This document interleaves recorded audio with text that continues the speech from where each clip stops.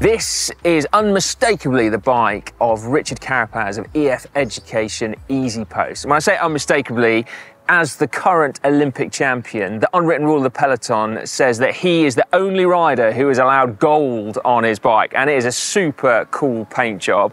The bike underneath it is a Cannondale SuperSix Evo Lab 71 edition. Now, the Lab 71 name refers to Cannondale's top level of frame sets, the 71 being the year that Cannondale started their pursuit of high performance, they said.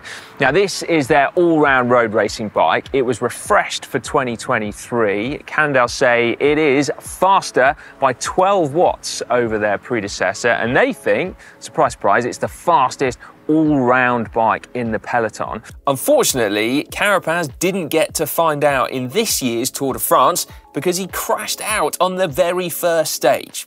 But we thought you would still want to see his bike. Now, a couple of really interesting things about this bike when they uh, when they launched it.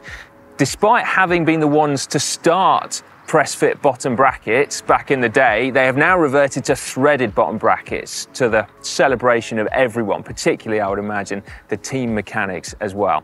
Now, although Cannondale say this bike is faster than the predecessor, it's also still super light. So it's quoted as being 770 grams for the frame. Given that Carapaz is a smaller rider, you can bet that this one is considerably less than that. The team are running predominantly Shimano Dura Ace drivetrains. I say predominantly, Vision FSA are a big partner of the team, and as such, they've got FSA K-Force cranks on there. Carapaz uses 170 mil long cranks. They've also got that Power2Max power meter on there too.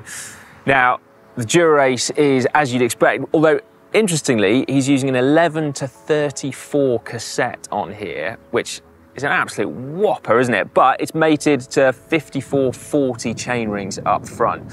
So 4034 is still a pretty small bottom gear, actually, you've got to say. The wheels on this bike, as you can see clearly, are from Vision as well. These are the Vision Metron 45 SLs. Now, the team will have a whole raft of different depth wheels.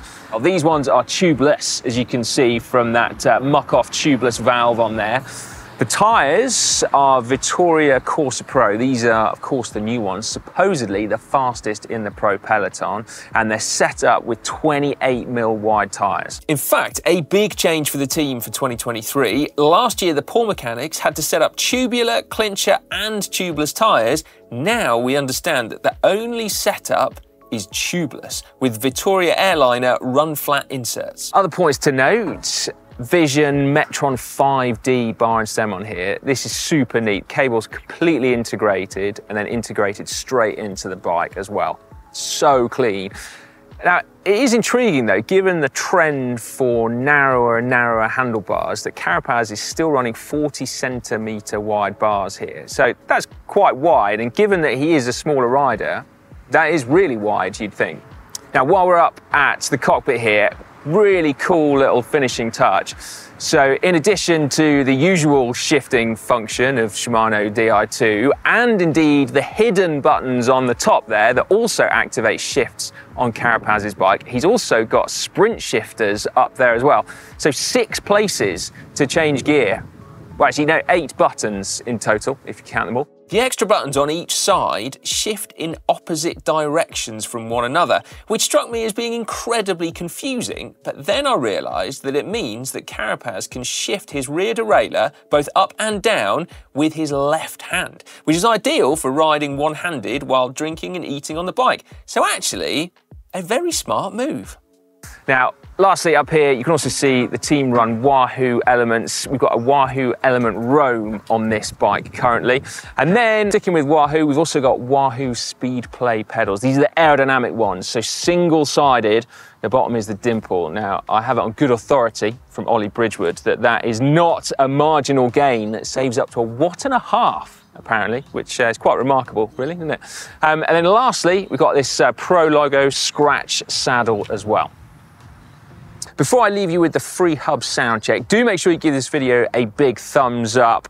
I've got to say, I'll give it a big thumbs up. This is a cracking bike with a mega paint job. Another, another classic paint job coming out of Cannondale's custom paint studio.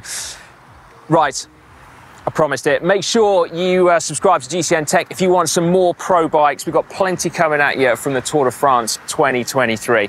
Let's wind this up, shall we?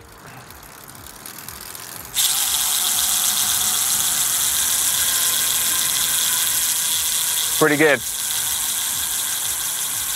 Some serious bearings on this bike. It could be here for a while.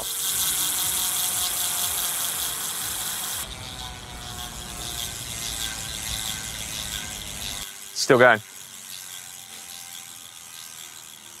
I'm getting pretty hungry now. I think I've missed lunch.